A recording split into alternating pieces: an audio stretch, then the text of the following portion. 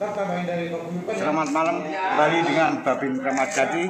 Malam ini kita menyampaikan protokol kesehatan ke paguyuban kampus. Mari kita.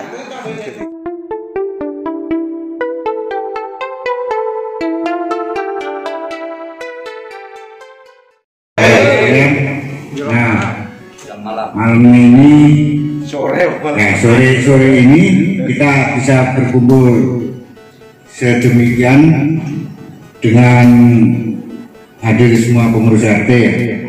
ya Pengurus RT semua ya? ya Ada karang tarunan ya, karang tarunan mana? Ya, ya. karang tarunannya ya. Pengurus RT juga pak. Ya, kita perlu sampaikan tentang penyebaran COVID-19 ini ya. ya Jadi COVID-19 ini belum selesai dan belum ada obatnya. Jadi perlu kita ketahui bahwa untuk wilayah Jakarta Timur kenaikannya sudah luar biasa.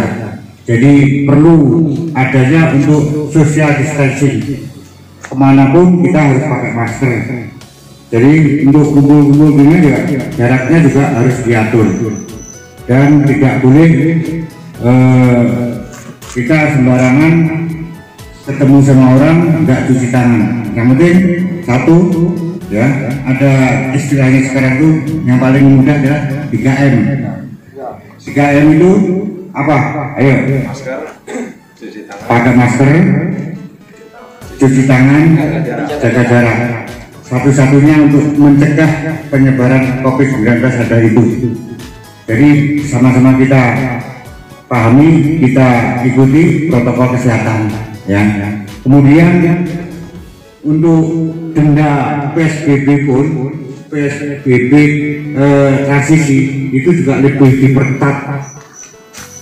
Kalau kemarin misalnya ada yang didenda karena nggak pakai masker ya denda 250 ribu kan gitu ya. Sekarang ada tambahan denda progresif. Jadi kemarin sudah melanggar denda 250 ribu sekarang melanggar lagi ketangkap lagi dendanya jadi 500 ribu. Nah kalau Pak Marman paham nih kalau masa progresif bukan motor aja yang kena progresif. Jadi untuk eh, PSBB ini juga ada dendanya progresif. Dan baru saja juga di wilayah perbatasan kita juga terjadi penularan dan orangnya sudah meninggal tapi belum ada hasil akhirnya namun difonis untuk pemakaman COVID ya itu juga dilema bagi kita. Yang penting kita 3M harus kita laksanakan. Badan tetap sehat ya produktif keamanan kondusif jadi ya terima kasih.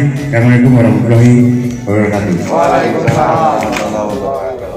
Terima kasih atas kerjasamanya. Salam Kamtibmas